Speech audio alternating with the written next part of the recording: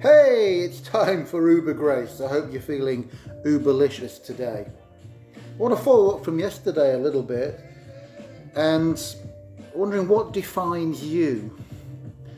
What is it in your life? What is it about you that you kind of make your identity from? Is it your past? Is it how you look? Maybe how you look reflects how you are inside, what you're into.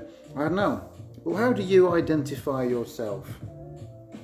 What's helpful is in the beginning of the book of Ephesians, the writer there, chap called Paul, says, Blessed be the God and Father of our Lord Jesus Christ, who has blessed us with every spiritual blessing in the heavenly places in Christ.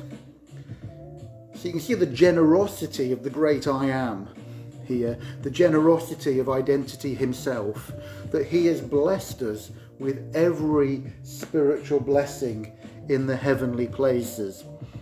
And I want to remember that this is written in a whole other language that doesn't exist now. It's a long, old language, a long time ago.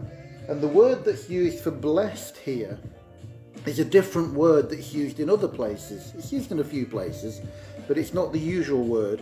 The word here is the word eulogos, which uh, we get our English word eulogy from.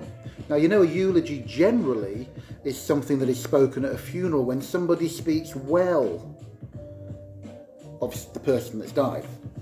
So here, because Jesus has died, God is speaking well in a, in a blessing. He's speaking blessings into our life. Not just a few or one or two, but God has already spoken every spiritual blessing over our lives in heavenly places. Now, don't forget, heavenly places, spiritual, they're all synonymous. It's the spiritual realm, the spirit world, the, the heavenly realm, whatever you want to call it. And that's inside of us, it's everywhere. We, you know, we're just physical beings that have been slowed down to uh, to this so we can see each other.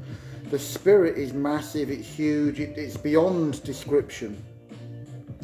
And like you would with a child, I explained in one of my first videos about how we used to speak well of the children, see them well, and speak well of them as much as we was humanly possible when I worked in the children's home and they would rise to it. They would rise to it. There was no, well, there was criticism sometimes, but generally we tried to put the positives into them. And this is what God has done for us. He's not angry with us. He's not waiting to trip us up. He's not some angry guy on a throne waiting to zap us with lightning. He is love. He is holy. He is identity. He is separate to what we can imagine him to be. That's all holy means. And he has spoken well, wellness, truth, positivity, blessing is a positive thing. You know that.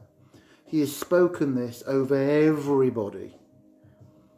Every spiritual blessing in heavenly places has been spoken over you.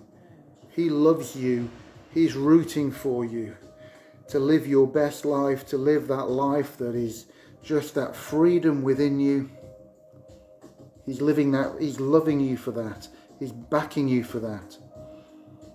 Because he's blessed you, he's spoken over you with every spiritual blessing in heavenly places. And those places are in you, they're around you. It's accessible, it's there for you. Hope this has been helpful and encouraging. If so, please share, please like and love and make a comment. See you soon. Bye now.